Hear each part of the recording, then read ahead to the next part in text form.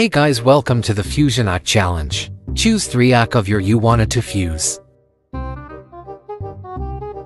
For gender. If you are a girl demi girl choose the second one on you list. If you're boy demi boy choose third one on your list. If you identify anything else choose the first on the list.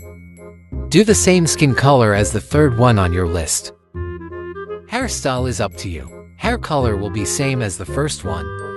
Do the same color as second one. And the outfit style will be a mix of the three that you have chosen. Put your head on my Add a little bit of spice.